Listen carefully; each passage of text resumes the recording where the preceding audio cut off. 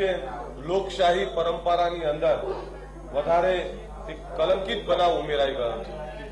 જે પ્રકારનો બનાવ બન્યો, હું એવું માનું છું, હું તો જે મુદ્દાઓ આધારિત જે ગરીબોના હક અને અધિકારની વાત અને એવા મુદ્દાઓ લઈ અને ગુજરાતની જનતા વચ્ચે ગુજરાતની જનતા માટે આવેલો, પણ આજે જે વિધાનસભામાં જોયું છે, હું એવું માનું છું કે મારું હૃદય રડી રહ્યું છે અને સૌથી વધારે દુઃખી કોઈ હોય તો હું એવું માનું છું આજે હું ખૂબ જ દુઃખી છું કે આ લોકશાહી પરંપરાની અંદર, વિધાનસભાની અંદર જે રીતે એકદમ મા બેન સામે ગાડી ગલોચ અને ગાડી ગલોચ થયા પછી છૂટા હાથથી મારામારી, આ પ્રકારના બનાવ શું આપવા માંગે છે ગુજરાતને? ગુજરાતના આ ચૂંટાયેલા એકસો ને બ્યાસી ધારાસભ્યો, જે ધારાસભ્યો થકી ગુજરાતની જનતાને હક અને અધિકાર મળવાના હોય, જ્યાં ગરીબો, બેરોજગારો, મહિલાઓ, ખેડૂતો, સામાન્ય જનતા માટેના હક અને અધિકાર એમના પ્રશ્નો, એમના પ્રશ્નોના નિરાકરણ અને એમના વિકાસની વાતો હોય, ત્યાં આ પ્રકારનો બનાવ બન્યો છે. હું માનું છું કે આ કલંકિત લોકશાહીની અંદર આ ઉમેરાણું છે. દુર્ભાગ્યપૂર્ણ છે, દુઃખદ છે. પરંતુ જે રીતે અંદર વિધાનસભાની અંદર આક્ષેપ પ્રત્યાક્ષેપને જે પ્રકારે ધારાસભ્યો દ્વારા એકબીજાને ગાડી ગલોચ કરવામાં આવી, હું એવું માનું છું ગાડી ગલોચ પછીનો જે આ બનાવ છે, આ દુર્ભાગ્યપૂર્ણ છે, દુઃખદ બનાવ છે, આ આખા ગુજરાત માટે દુઃખદ બનાવ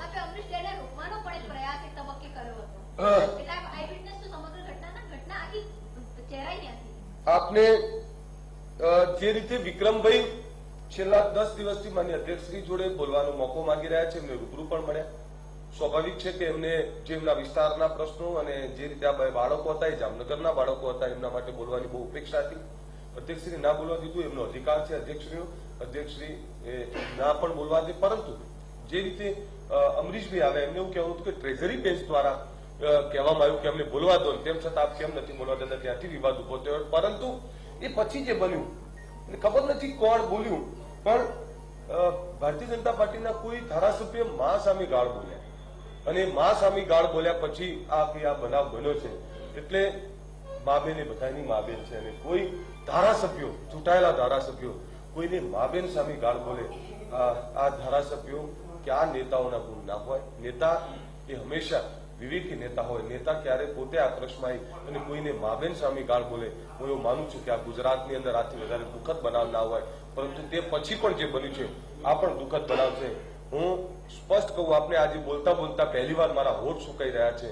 મેં જે જોયું છે, હું ઘડી આ બન્યા પછી હું મારી જગ્યા પરથી હટી નતો શક્યો, કારણ કે જે રીતની મારામારીઓ ચાલુ થઈ આઈ એમ સ્કેર્ડ હું ખૂબ દુઃખી છું અને રડવાનું બાકી છે.